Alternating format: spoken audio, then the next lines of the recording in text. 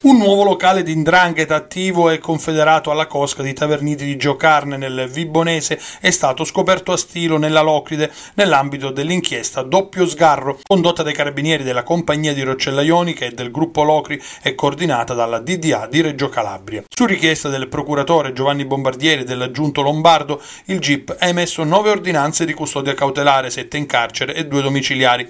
I reati contestati sono a vario titolo quello di associazione a delinquere tipo mafioso, associazione finalizzata al traffico illecito di stupefacenti ed ancora produzione, traffico e detenzione di droga. L'inchiesta coordinata dai sostituti Simona Ferraiolo, ora trasferitesi a Milano, e Domenico Cappelleri è partita dalle dichiarazioni di un collaboratore di giustizia raccolte durante le indagini su alcuni episodi avvenuti nell'area dello Stilaro, tra cui l'omicidio di Marcello Geracitano avvenuto nel 2005 e quello di Giuseppe Gerace nel 2012. I fatti di sangue non sono contestati. Grazie a una rivisitazione di precedenti attività di indagine si è arrivati agli arresti di oggi, con cui i PM hanno disarticolato un gruppo criminale composto prevalentemente da soggetti legati ai vincoli familiari e collegati alla Cosca Taverniti.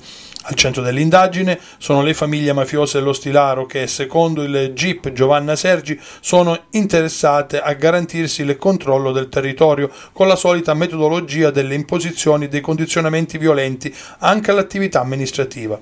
Cosche che per i magistrati da tempo ormai si sono rese artefici della condizione di grave depressione che governa quelle aree calabresi, in tutto asservite alla prepotenza mafiosa. L'inchiesta doppio sgarro ha consentito di accertare ruoli e gradi degli affiliati stati per lo più membri della famiglia Spagnolo, secondo i PM a capo della nuova locale di Indrangheta operante a Stilo. La consorteria mafiosa era attiva nei danneggiamenti, nelle estorsioni, nei pascoli abusivi e grazie anche alla disponibilità di armi, secondo i carabinieri, avrebbe ingenerato nella popolazione un diffuso timore e senso di omertà. C'è anche il boss latitante Fernando Spagnolo, di 67 anni, tra i destinatari dell'ordinanza di custodia cautelare in carcere emessa dal GIP Giovanna Sergi. Spagnolo risulta irreperibile dal maggio del 2019 a seguito della condanna all'ergastolo emessa dalla Corte d'Assise d'Appello per l'omicidio di Marcello Genacitano avvenuto a Stilo il 16 gennaio del 2005, sentenza che lo scorso settembre è stata confermata dalla Corte di Cassazione. Il GIP ha disposto il carcere anche per il figlio del boss Ilario Spagnolo, il nipote Jason Spagnolo e il genero Giuseppe Furina. Tutti quanti, secondo la DDA, facevano parte della cosca operante a Stilo. Sono finiti in carcere anche Cosimo Panetta, Giuseppe Tassone, Cosimo Tassone e Cosimo Leotta. Quest'ultimo è accusato di essere affiliato alla Cosca Ruga Gallace Leuzzi, cosca operante nell'Alto Ionio Reggino, Passo Catanzarese e zone limitrofe. Secondo la DDA, Leotta avrebbe messo a disposizione degli associati i propri immobili per lo svolgimento di riti di affiliazione all'andrangheta e rivestito per conto della predetta consorteria criminale il ruolo di referente territoriale del comune di Stilo con la dote di Vangelo. Il GIP ha disposto inoltre gli arresti domiciliari per Francesco Aiello e Diego Tassone. In tutto ci sono 15 indagati, di cui 5 sono rimasti in stato di libertà. Tra gli altri c'è anche Giorgio Domenico Candido. Per lui il giudice non ha accolto la richiesta di arresto formulata dalla distrettuale antimafia, in particolare da Bombardieri e l'aggiunto Lombardo e poi dai PM Ferraiuolo e Cappelleri, accusano tutti Candido di essere il mandante delle minacce lanciate al nipote Vincenzo Sorgiovanni, ex consigliere comunale di minoranza del comune di Stilo, la cui auto sarebbe stata danneggiata a colpi d'arma da fuoco da un altro indagato, Cosimo Panetta, nel febbraio del 2018. L'obiettivo, secondo quanto emerso dalle indagini, sarebbe stato quello di condizionare le scelte di Sorgiovanni in modo da non farlo votare con la maggioranza del comune di Stilo. L'ente nel maggio del 2019, lo ricordiamo, è stato sciolto per infiltrazioni mafiose.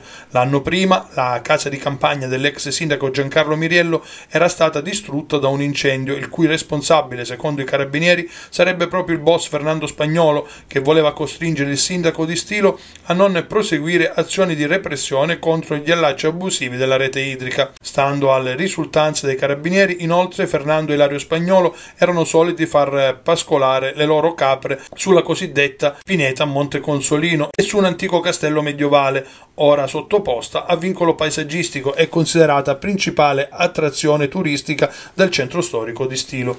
Secondo il GIP Giovanna Sergi, la DDA di Reggio è riuscita non solo a fotografare la tracotanza e l'andrangheta che non ammette espressioni di ribellione e nemmeno di titubanza, ma l'inchiesta a doppio sgarro condotta dai carabinieri ha consentito di attribuire quella spavalderia criminale a soggetti ben determinati, a carico dei quali può dirsi raggiunto il quadro di gravità indiziaria pieno e inequivoco. L'inchiesta infine ha consentito di far luce su un'associazione dedita al traffico di cocaina e marijuana a Placanica, nel comune di Stignano, a Caulonia e a Pazzano. In quest'ultimo, nel luglio del 2018, gli investigatori hanno scoperto una piantagione di cannabis indica, 120 piante che sono state sequestrate e distrutte dai carabinieri.